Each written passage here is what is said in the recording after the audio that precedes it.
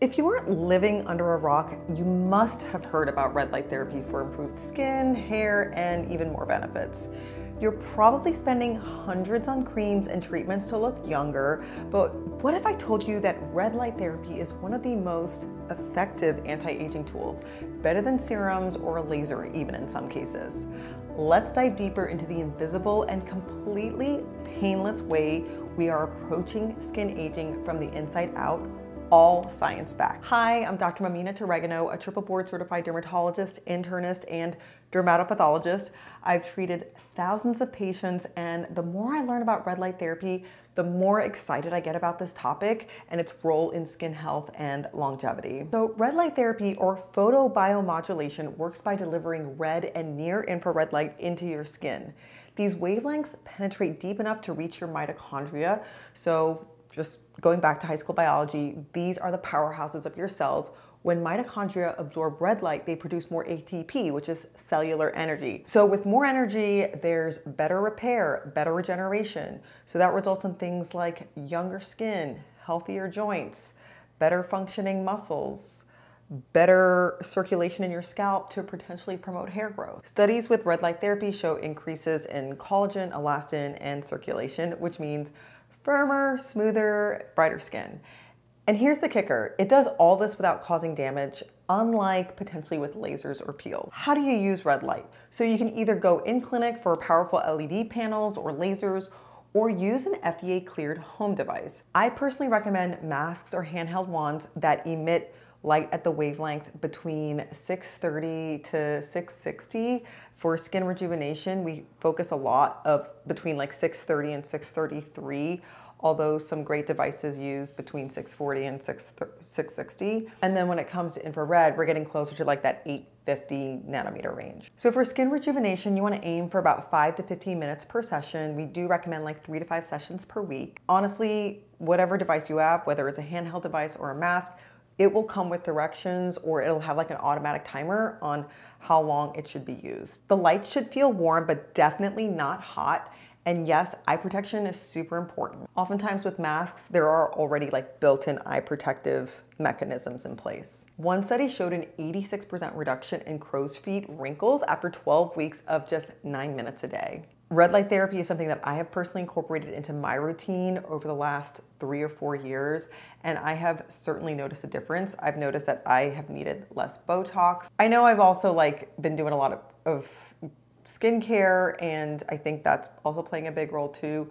But uh, red light therapy has been definitely a great supplement to my skin routine. It is safe for all skin tones, but if you have melasma or very sensitive skin, you wanna start slow. So the thing with melasma is that it's interesting because it can be potentially helpful for melasma. Melasma is related to increased oxidative stress in the skin. So if you have better functioning cells, better repair and regeneration, you can theoretically improve melasma. And a lot of people do report improve, improvement with melasma. But you also want to just be careful too because melasma is very light sensitive. If you look for the specific nanometer wavelength, you know, between like in the 630s range, it should not affect melasma, but you want to make sure you're definitely not using a mask or, or, device that is emitting a lot of heat because heat definitely can make melasma worse. Also, please avoid direct eye exposure. If you're pregnant or if you have light sensitivity or if you're on meds that can increase light sensitivity, obviously you should talk to your doctor first. Red light is non-ionizing, so that means it won't damage your DNA or burn your skin.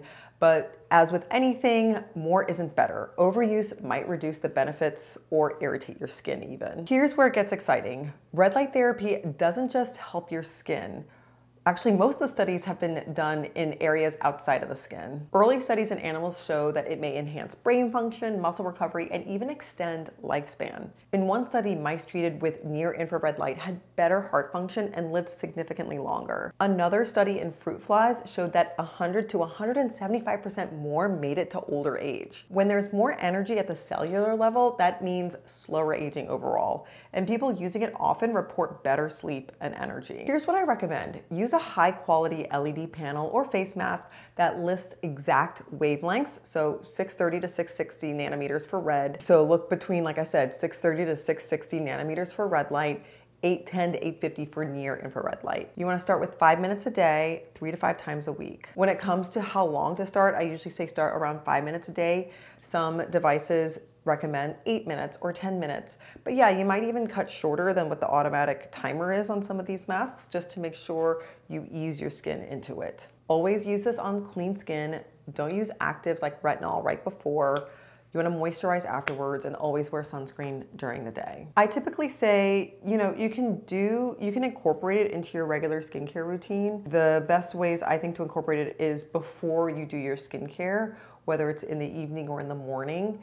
The main thing is just to make sure that you're using it on clean skin and to make sure that your skin is not sensitive or irritated, doesn't have any other issues going on in that in that way. Okay, so this was a very basic intro into red light therapy, infrared light therapy. There's definitely way more kind of in-depth discussion that can be had surrounding this topic. There's some, some controversy as well. People also often ask, what are the best red light devices out there? Because first of all, there are so many. Second of all, they can be super pricey. The really popular ones are very expensive. And so you want to make sure that you're getting your money's worth. And I have to, I hate to break it to you, they are going to be expensive. It just has something to do with the technology of the light and the manufacturing of it.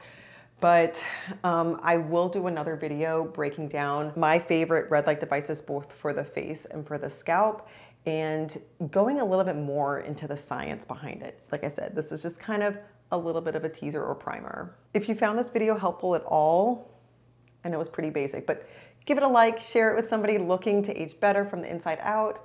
Have you tried red light therapy? Let me know your experience in the comments. I am going to share a few of my favorite devices in the description box below, so please remember to check those out. I'll also cite some key scientific studies when it comes to red light. If you want to learn more about skin longevity, please watch my video right here on the best anti-aging routine based on your age. I'll see you there.